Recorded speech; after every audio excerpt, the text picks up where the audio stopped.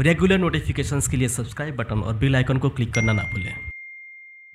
आइए जानते हैं विटामिन के बारे में। स्वास्थ्य विटामिन के कार्यों पर निर्भर करता है, जबकि ये हमारे शरीर में बहुत कम मात्रा में पाए जाते हैं।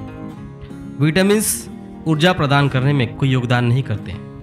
वे भोजन में पाए जाने वाले प्रोटीन, वसा, कार्बोहाइड्रेट्स तथा खनिजों का उपयोग करने में सहायता करते हैं। पोषण में प्रत्येक विटामिन का अपना महत्व है। एक विटामिन का स्थान दूसरा विटामिन नहीं ले सकता। यद्यपि इसके कार्यों में दूसरे की अनुपस्थिति से बाधा पहुँच सकती है। विटामिन तंतुओं के संक्रमण को रोकने में सहायता करते हैं। वे शरीर में हार्मोन्स के निर्माण को तथा द्रव्यों के निकास को प्रभावित करते हैं। यह भी सत्य है कि विटामिन दबाव से तथा समय समय पर वातावरण के प्रदूषण के बुरे प्रभाव से बचाने में मदद करने की क्षमता रखते हैं। विटामिन की कमी का परिणाम वही होता है, चाहे उनकी कमी का स्तर कुछ भी क्यों ना हो।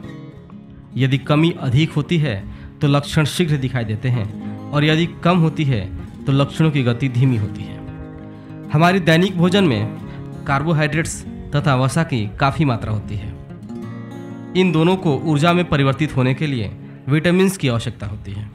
विटामिन के सभी समूह अर्थात विटामिन ए से लेकर के तक ऑर्गेनिक कंपाउंड कहलाते हैं। जो टीम के साथ हमारे शरीर में रासायनिक परिवर्तनों को नियंत्रित करते हैं। किसी स्थिति में जब एक या एक से अधिक विटामिन की कमी होती है तो शरीर के भीतरी अंगों की साधारण प्रक्रिया में बाधा पड़ती है, जिसके परिणाम स्वरूप पोषण की कमी से संबंधित बीमारियाँ उत्पन्न हो जाती है। गंभीर कमी की स्थिति में शीघ्र लाभ के लिए विटामिन की गोलियाँ अथवा इंजेक्शन के रूप में लेना अति आवश्यक है।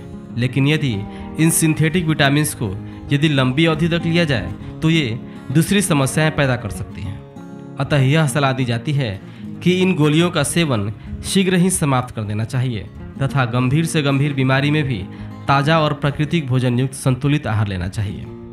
अगले वीडियो में जानेंगे विटामिन की कमियों से कैसे बचा जाए और उनसे कैसे निपटा जाए। अगर आपके जहन में कोई सवाल या परामर्श हो तो कमेंट ज़रूर करें। धन्यवाद।